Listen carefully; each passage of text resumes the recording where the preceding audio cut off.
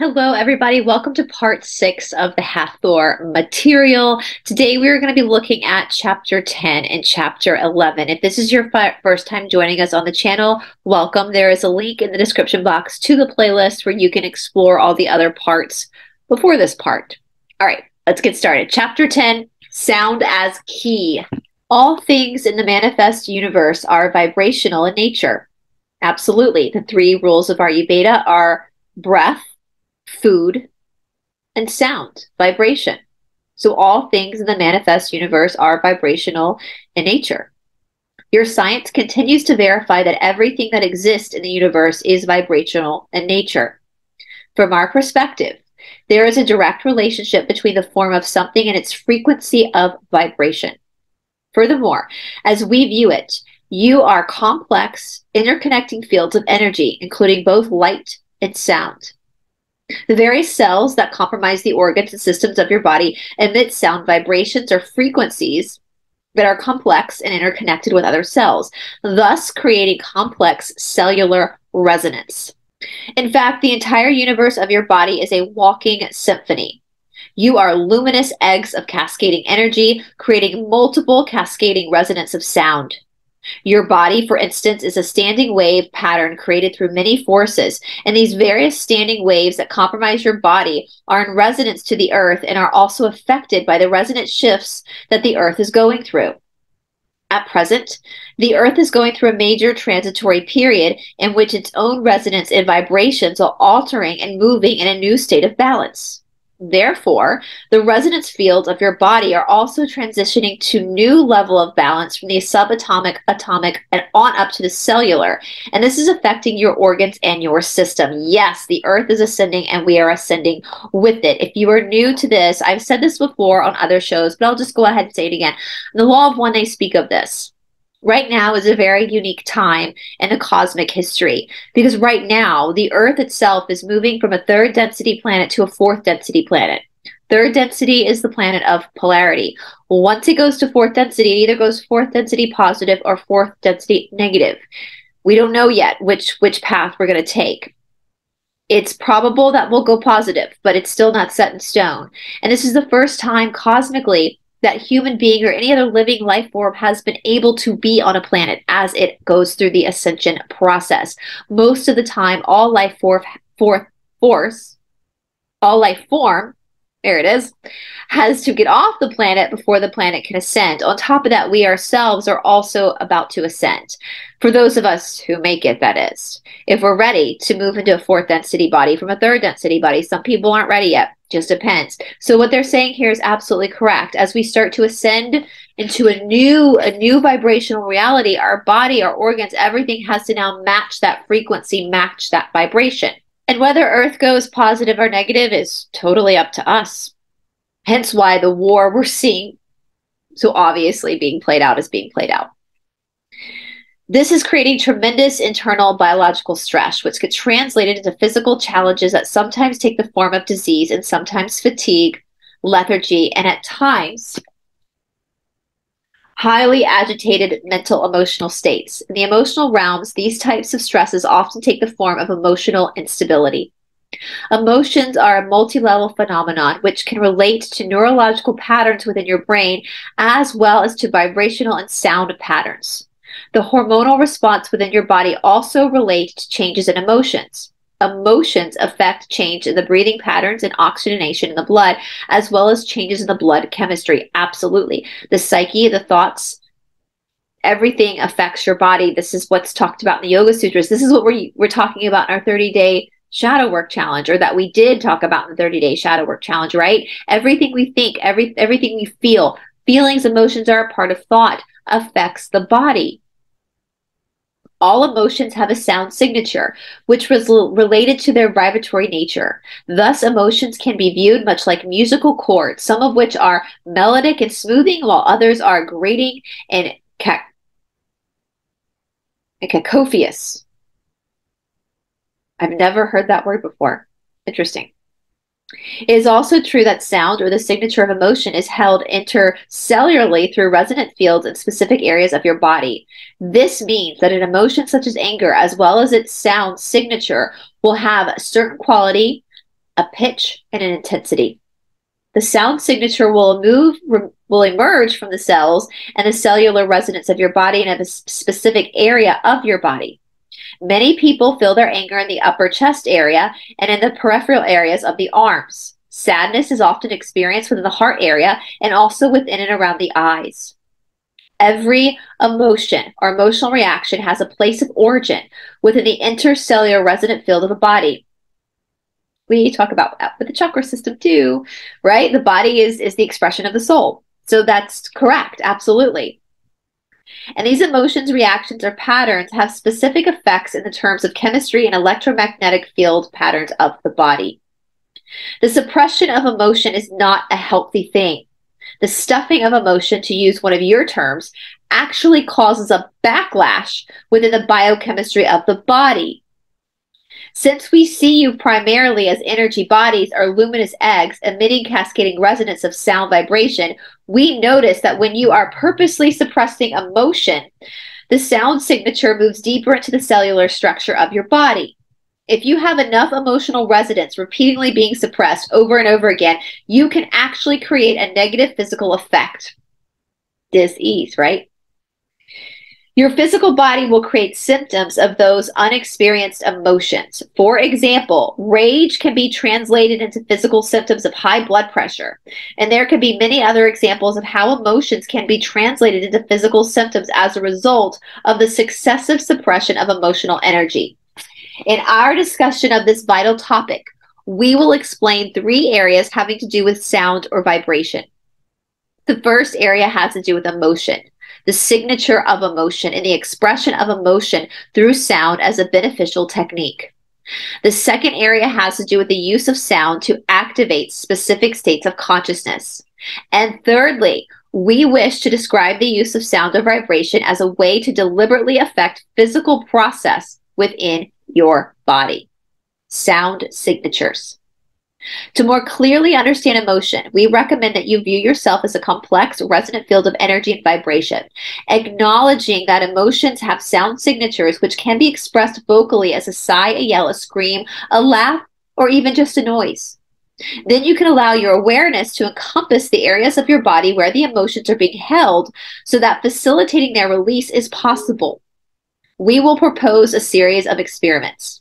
If you are unfamiliar with this process, so that you may become unattuned, attuned to the method by which you can express and clear emotions through sound. Exploration four. Recall one particular emotion and its feeling response. Then relax as you feel or recall the emotion. Letting your awareness surround the vast interstellar universe of your physical body from head to toe. And I apologize. Speaking of sound, if you hear any crashing sounds, they are building next door. So I apologize if you hear sound effects in this video. Now focus and sense where within your body this emotion is experienced.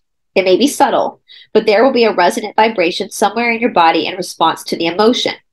Allow your awareness to move into this area of your body where the emotion resides, and then take a deep breath, allowing yourself to make the sound of the emotion as you exhale. This is not a rational thought process. This is a spontaneous, intuitive, and biological process. It's very loud. This is something you do naturally, but this natural process has become difficult for some people because of the way they have been educated or raised. I don't believe in coincidences, so it's quite funny that they're being super loud today when we're doing an exercise on sound. Children let themselves spontaneously express what they are feeling through crying, laughing, yelling, and some other sound until they are told they cannot express that way and must be quiet. But the natural biological impulse is to make a sound in response to an especially strong emotion. For some of you, retraining yourself to do what human system does naturally, what you did as a child before you were conditioned to be still and quiet, is very important. We are not suggesting a return to child childishness that is disruptive or chaotic. But we are suggesting that you re-own the aspect of your natural biological inheritance. There are things to be said for keeping social peace, however. When it is taken too far, the body will pay a price for suppressing emotional energy instead of allowing an outward expression to occur. Emotional energy can be cleared through your vocal cords and or through bodily movement rather than pushing it down into the inter- intercellular fields of your body which create unhealthy cellular tension. This type of stress begins when cellular energy fields are forced to hold the vibrational resonance of a suppressed emotion. One result of the cellular repression is the creation of negative biochemical responses in the body and a compromise of your life force. The process of preventing or releasing stress is quite simple once you become aware of it, and you can use this method to quickly clear negative emotions that arise. When you experience something that creates an emotional response in you, deliberately move your awareness to the area of your body where you feel the emotional response. Instead of ignoring or denying it, you can even allow yourself to get in touch with the sound and the natural sound that naturally wants to express itself and then dare to make that sound when you are in a private space. Allow the sound to emerge from the emotion. It may be laughing, grunting, or groaning, crying. It may be yelling or even screaming. It may take the form of notes, as in musical scale, or it may be more amorphous toning or some such sound. Whatever it is, you allow the form to express itself in its original innocence without forcing it to be anything in particular. We recommend that you use this sound technique on a regular basis in order to clear up emotional energy and to achieve balance. You might begin making these sound expressions in private places where no one will hear or disturb you, but you can also make these sounds very softly at any convenient time. The most important thing is to encourage yourself to become aware of any emotion that you are experiencing and allow its sound signature to emerge from the emotion through your voice. Keep making the sound until you feel relieved and clear. That is the technique. It is very simple and it works. Activating specific states of consciousness. The second level of this material we wish to discuss concerns sound as a means to activate or access specific states of consciousness. From an energetic standpoint, every state of consciousness has its own signature. It is possible to use sound to access these different states of consciousness. This is an ancient science that can be traced back through many different traditions on your planet where precise sounds, sometimes termed mantras, are used as keys to unlock specific levels of awareness and consciousness. I love mantras. Exploration five. Allow yourself to feel a deep sense of peace. Now make a sound that best represents that feeling of peace to you. What sound came forth? Now repeat that sound and remember it for future use. Under stress, you can simply make the same peaceful sound, and that will shift your focus back to peace again. Anytime in your daily life when you experience states of awareness that you find particularly helpful, merely allow your awareness to move into a sense of that state of consciousness, especially the feeling of that state, and permit a sound or series of sounds to emerge from that state. Listen to the sounds that you make. The sounds that you make from this state of awareness will be a reflection of the sound signature itself. This allows you to access that state again anytime you desire. There are two elements then that will allow you to access specific states of awareness. And these are combinations of the feeling of it, the sound signature of it. If you were to meditate and reach a deep state of profound space, peace, and calm in that moment, you could encompass that feeling through your awareness and then allow a sound or series of sounds to emerge through your voice. Listening to the sounds you make while being aware of the feeling provides a strong means of anchoring these experiences so that you can bring them back to any future time. The two together are extremely powerful because all feelings also have sound signatures. And in this method, you are bringing two elements of a fundamental relationship, feeling and sound, into conscious awareness. It is wonderfully empowering to bring any specific positive state that you have experienced in the past into the present moment. If during the original experience you can allow an awareness of the feeling response within yourself along with the sound signature of the state, then you can bring back the state of consciousness simply by feeling it and making the sounds. What this activity requires, however, is an appreciation and mastery of yourself as a complex field of resonance and vibration that expresses as feelings, emotions, and sounds. Identifying and expressing the appropriate combination of feelings and sounds for the effect you desire is a step up in expanded consciousness, affecting physical processes within the body. The third way sound can be used has to do with its ability to affect physical process, especially physical process within your body for healing.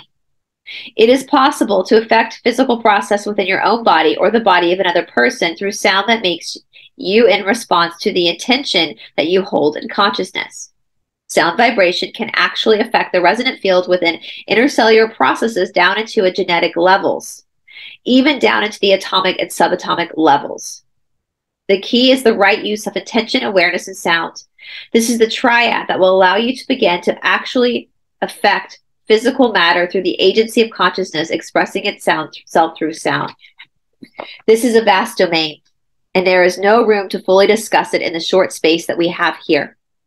However, it is possible to begin to work within the area that we have already given you. As you explore this area, new insights will come to you. Fundamentally, all matter is vibrational in nature regardless of the form it takes. Therefore, by using the right vibrations, it is possible to cause any particular form to resonate or vibrate in response. Using awareness, intention, and the sound of your own voice, it is possible to affect any level of manifest creation. This is also one of your birthrights. Yet mastery of this does not occur until you have expanded your awareness enough to create such a strong, clear intentions that the sounds you allow to emerge are precise enough. When these vibrations come together, you will have a powerful force that can literally change physical states at any level, as unbelievable as this may seem to some people.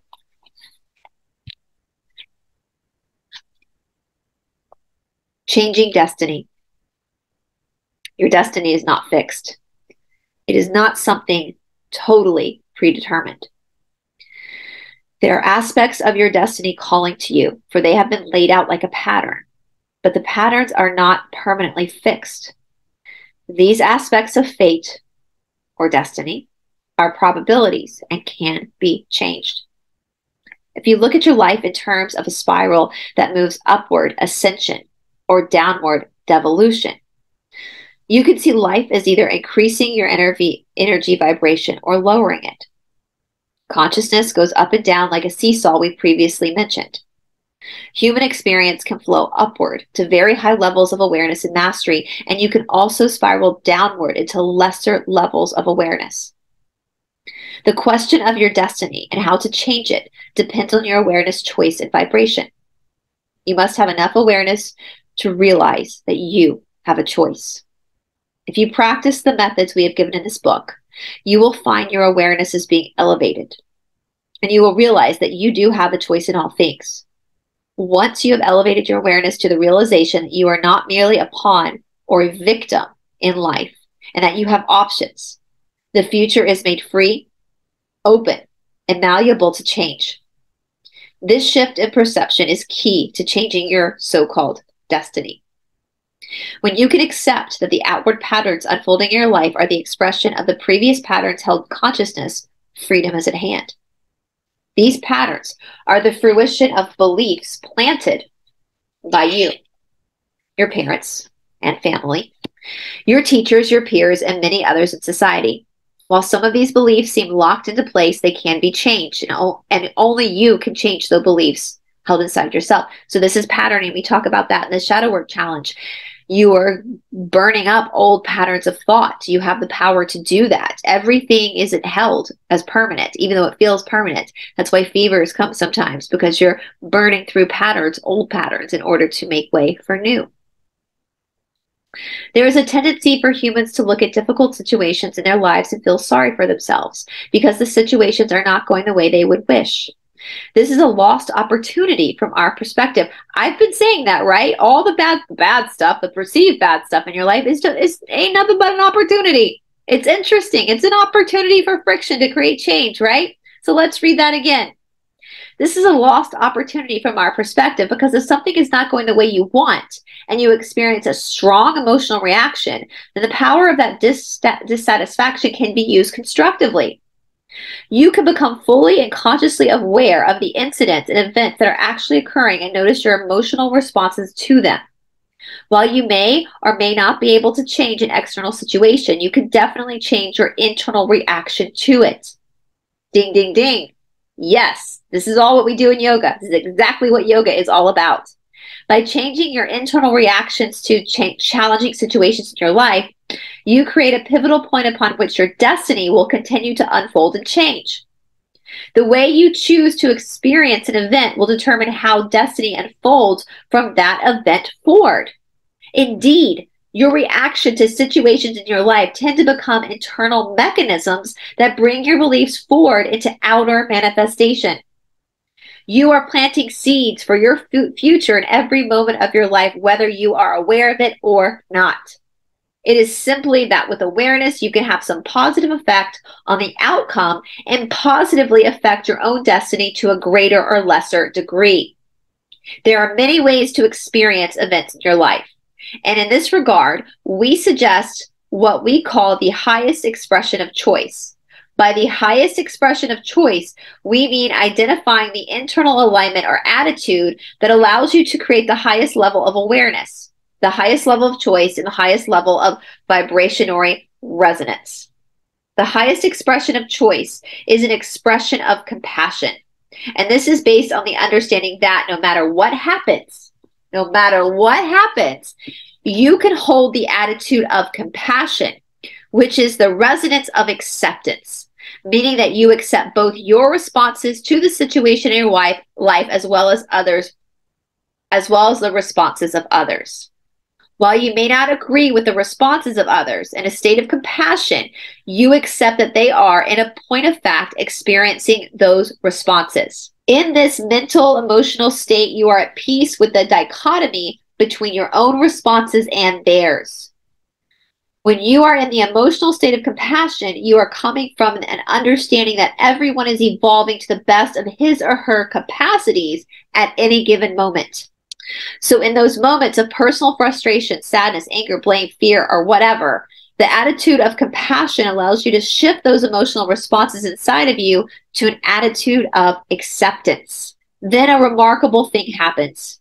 As you hold your own negative emotional responses to whatever is occurring in your life, along with a healthy acceptance of the reality that you are indeed experiencing those negative responses, they will begin to shift and dissipate their energy and the clarity of awareness will return to you and you remember that you have choices in how you experience those events. By holding yourself and others in compassion you raise your own vibration which is key to changing your destiny. Because you are the storm right? You are the storm. Your vibration is what rages to create that storm. Again this is all the shadow this is what we talked about with the shadow work challenge. This is the key to spirit the spiritual path. It's all within you. It's not outside of you there's no one that's going to come save you in the outside of you world. It's all about you saving yourself. I hope people are seeing that. Trump, the Kennedys, they're not going to save you. You're the white hat. You have to save yourself. Starts with you, inside of you. Compassion is a doorway through which you can move into elevated states of vibratory resonance, and from there you can alter your destiny in pro- profound and beautiful ways.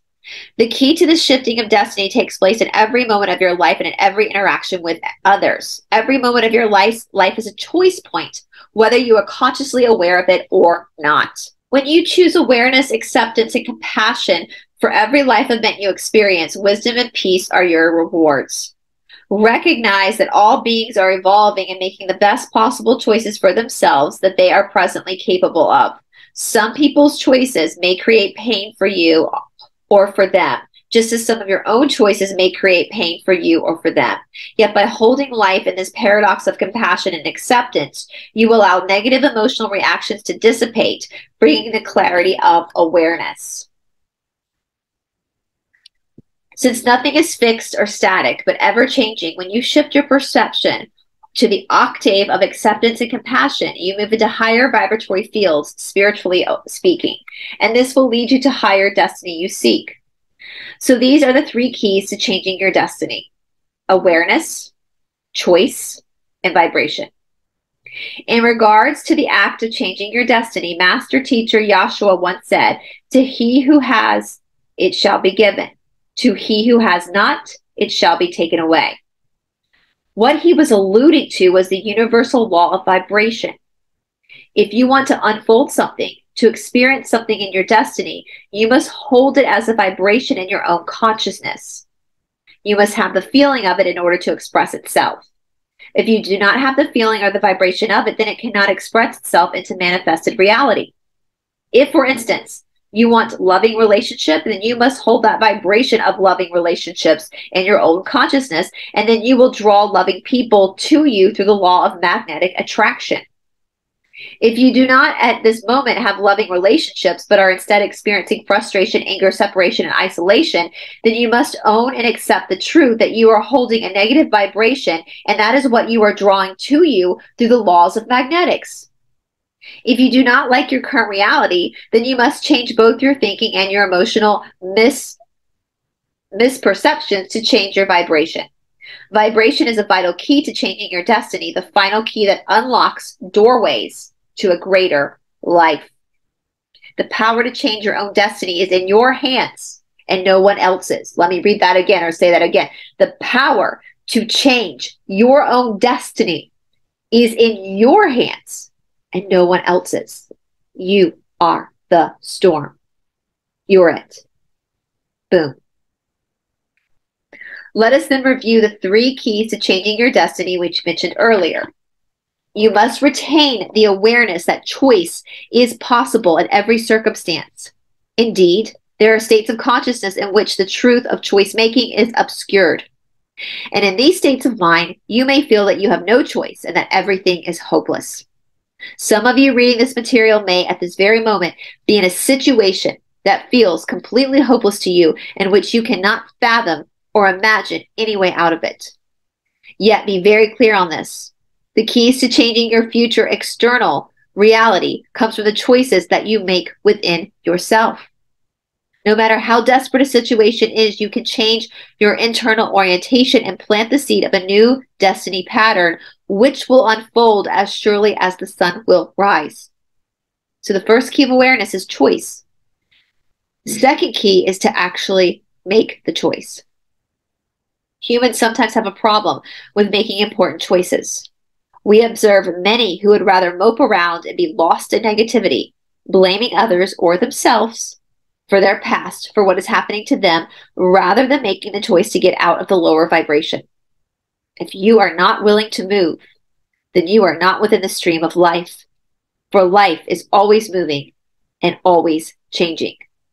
Once you have awareness of choice, you actually have to make the choice of how you elevate and respond to events. As we said earlier, we are of the opinion that the highest expression of choice, compassion for both yourself and others, is the most resourceful way to change your destiny. Holding yourself and others in an attitude of acceptance, no matter what may be occurring in your thoughts and feelings, sets off a resonance in which consciousness, a vibrational field that may touch others and change them. It will certainly change you as you hold yourself in a state of compassion and acceptance, difficult emotional energies will eventually begin to even out, and you will become clearer regarding your ability to make positive choices. Then you will have entered another vibratory resonance and what might be called an ascended attitude.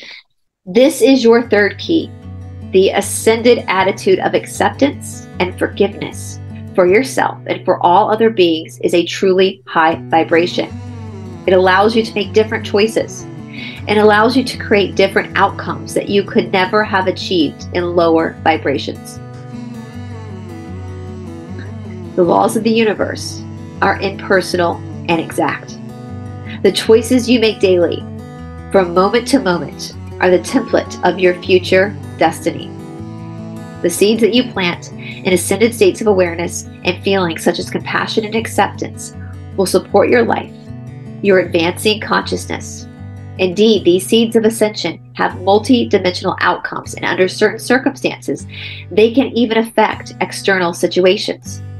You hold within yourself all vibrations, from the lowest of low to the highest and most exalted. You can express the demonic and bestial, or you can express the celestial and the angelic, as well as everything in between. This duality is your human nature.